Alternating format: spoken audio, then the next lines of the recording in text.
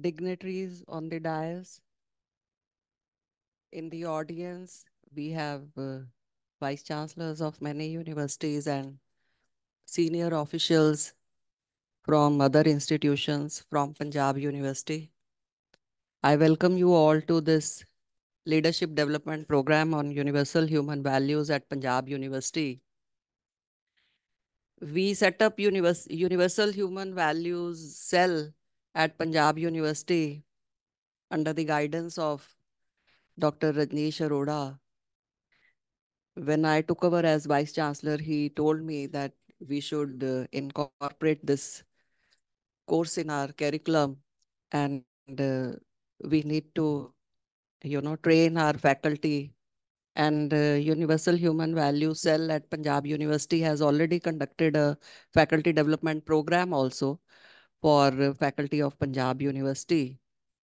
And this is the second program being conducted. And I think uh, the idea is that uh, what we are teaching, we should practice it first. If we talk about teaching universal human values to our students, then we are the role models for our students. So we need to practice these values first and I think our students will learn from our behavior more than from the books. And if we talk about human values, then parents are the first teachers for any child that is born or come into this world. And sometimes, you know, parents say that बच्चे हमारी बात नहीं सुनते हैं. And uh, as director UIT also, I used to tell parents that इस बात की ज़्यादा चिंता करने की ज़रूरत नहीं है कि वो हमारी बात नहीं सुनते हैं। इस बात की चिंता करने की ज़रूरत ज़्यादा है कि वो 24 घंटे हमें देखते हैं और जो हम करते हैं वो तो वो ऑटोमेटिकली सीख जाते हैं करना। पंजाब यूनिवर्सिटी के एक वाइस चांसलर रहे हैं प्रोफेसर टी एन कपूर। तो उनकी फैमिली में everybody was very soft spoken तो बात करते थे, घर में कोई गुस्से में भी बात करते बट वॉल्यूम हमेशा कम and he was a very soft spoken person और उनके घर में किसी को मैंने आज तक ऊँची आवाज़ में बात करते नहीं देखा। तो मैं यही समझी कि क्योंकि उनके पेरेंट्स मिसिस कपूर और प्रोफेसर टी एन कपूर एक बहुत ही मॉडरेट वॉल्यूम में बात करते थे तो घर के सभी सदस्य उसी तरीके से बात करते थे। और वैसे भी हम नोटिस कर सकते हैं ये चीज़ जब किसी के घर जाएँ तो जहाँ सब लाउड है, अगर वॉइस तो वो सभी की ऐसे ही होती है तो वो फैमिली मेंबर्स एक दूसरे से बिना कुछ सिखाए ही सीख जाते हैं। तो यही यूनिवर्सिटी या किसी भी एजुकेशनल इंस्टीट्यूशन की स्थिति है कि हम खुद ही रोल मॉडल्स हैं हमारे स्टूडेंट्स के लिए, और अगर हम स्टूडेंट्स को ये पढ़ाएँगे कि हमें you know we should be able to resolve the conflicts conflict management की बात करें तो हम सब हमारे करिकुलम में भी प्रोजेक्ट्स वगैरह होते हैं तो इसीलिए होते हैं कि हमारे जो स्टूडेंट्स हैं वो टीम वर्क सीखें। और जो कॉन्फ्लिक्ट रेजोल्यूशन की बात करें तो हमारे जो लीडर्स हैं, जो हमारे डीन्स हैं, वो ही अगर आपस में झगड़ा करते हैं तो बच्चों को तो सब पता होता है। बच्चे मुझे भी आके बोल देते हैं कि, मैम, उन दोनों की तो आपस में बनती नहीं है, वो तो झगड़ा करते हैं। या डिपार्टमेंट्स में भी यही स्थिति है। तो जब हम leadership positions में we are not able to, you know, resolve the conflicts. तो हम बच्चों को तो क्या ही सिखाएँगे कि टीम वर्क के बारे में क्या सिखाएँगे? तो आज हम चंद्रयान की बात करें तो मैं कहती हूँ कि टीम वर्क की बिगेस्ट एग्जांपल हमारे पास इसरो की है। सबने टेलीविज़न पे देखी soft landing on moon and it was such a big team I am sure उनके भी डिफरेंसेस होंगे इंडिविजुअल डिफरेंसेस तो हर टीम में होते हैं but they worked together towards a mission and the mission was successful.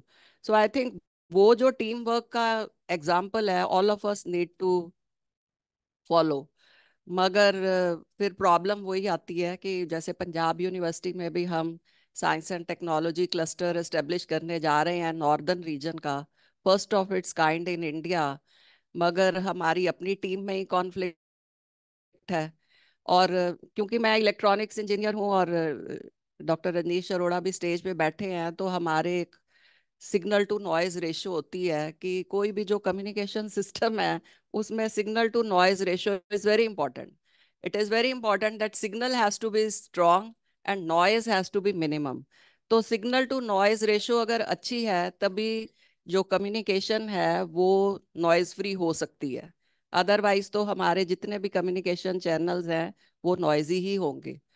तो किसी भी मिशन के लिए भी यही फॉर्मूला है गोल टू ईगो हमारा गोल क्या है? कि हमारा जो मिशन है वो सक्सेसफुल होना चाहिए। अगर यही हमारा गोल है then ego has to be minimized so that our goal is successful doctor Rupinder Tiwari बैठे हैं मेरे सामने ही is part of our team and he is smiling and he knows कि हमारे क्या इश्यूज़ चल रहे हैं। तो we want that you know our science and technology cluster it has to be successful cluster इतनी बड़ी रिस्पॉन्सिबिलिटी हमें मिली है office of P S A से P S A to prime minister तो उसको हमें सक्सेसफुली इम्प्लीमेंट करना है। और उसमें यू you नो know, जो ईगो है that has to be minimized because हमारा अल्टीमेट एम यही है कि वो क्लस्टर सक्सेसफुल होना चाहिए। तो शॉर्ट में बात करेंगे कि we have to practice what we preach और एक और जो सबसे बड़ा मैं कहती हूँ कि हमारे अंदर फ्लॉ रहता है जितने भी लीडर्स हैं वो है एरोगेंस जब भगवान राम भी वापस आए अयोध्या तो माता कुशल्या ने यही कहा कि आपने रावण को मार दिया। तो उन्होंने कहा, मैंने रावण को नहीं मारा, वो तो महाज्ञानी, महाबलशाली, उसे कौन मार सकता था? उसको उसकी मैंने मारा। तो कभी कभी हमारी जो एरोगेंस है, वो इतनी एक्सट्रीम लिमिट पे पहुँच जाती है कि हम कहते हैं कि जो हम सोच रहे हैं वही ठीक है, और सामने वाले तो बस हर कोई, हम हर किसी को क्रॉस करते जाते हैं। और अपने आप को समझते हैं कि जो मैंने कह दिया वही ठीक है, वो कभी कभी तो सामने वाला भी ठीक हो सकता है और उसकी बात भी सुनने में कोई हर्ज नहीं होता। और अगर हम सामने वाले की बात अगर ठीक है और उस चीज़ को एक्सेप्ट कर लें तो तभी कॉन्फ्लिक्ट रेजोल्यूशन भी हो सकता है, अदरवाइज़ तो हो ही नहीं सकता। तो मेरे ख्याल से कॉन्फ्लिक्ट रेजोल्यूशन का जो सबसे बड़ा एनिमी है, वो हमारे जो लोग कॉन्फ्लिक्ट रिजॉल्व कर रहे होते हैं, उनकी एरोगेंस या ईगो ही होती है।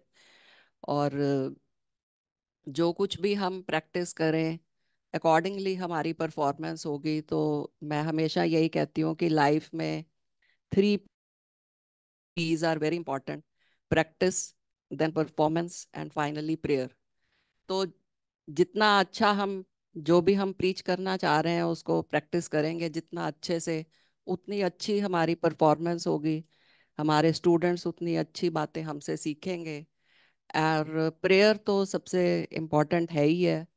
भगवान कृष्ण को किसी ने पूछा कि आप तो पांडवों के साथ थे, मगर वो शतरंज की गेम में कैसे हार गए जब आप उनके साथ थे? तो भगवान कृष्ण ने जवाब दिया कि जब खेल शुरू हुआ तो कौरवों ने कहा कि हमारी ओर से पासा मामा शकुनी फेंकेंगे। तो पांडवों ने भी कहा होता कि हमारी ओर से पासा श्री कृष्ण फेंकेंगे। तो अगर उन्होंने कहा होता तो फिर देखते क्या होता। तो हमेशा हर जगह पे यही बात होती है, हम हमेशा द्रौपदी की भी बात करते हैं तो उसपे भी भगवान कृष्ण ने यही कहा कि द्रौपदी ने तो मुझे बुलाया ही नहीं, मैं तो हमेशा ही वही था। उसने कभी पितामह भीष्म की ओर देखा, कभी देखा, अपने युधिष्ठिर की तरफ़ देखा, कभी अर्जुन की तरफ़ देखा, उन सबको बुलाया, मुझे नहीं बुलाया। जब उस उसने मुझे बुलाया तो मैं वही था, मैं तो वही था। तो फिर मैंने उसकी रक्षा की जब उसने मुझे पुकारा। तो वो सबसे इम्पोर्टेंट जो है, जो डायरेक्टर, उसको भी ध्यान में रखते हुए अगर हम काम करें तो हमारे जो भी, हम तो we are only you know actors and spectators तो डायरेक्टर तो वही है। उस चीज़ को अगर हम कभी भी ना भूलें तो उस, वो सबके लिए ही अच्छा होगा, हमारे लिए भी, हमारे इंस्टीट्यूशंस के लिए भी, हमारे स्टूडेंट्स के लिए भी और सोसाइटी एट लार्ज तो यही मैं कहना चाह रही थी। धन्यवाद आप सबका बहुत बहुत यहाँ आने के लिए। जय हिंद।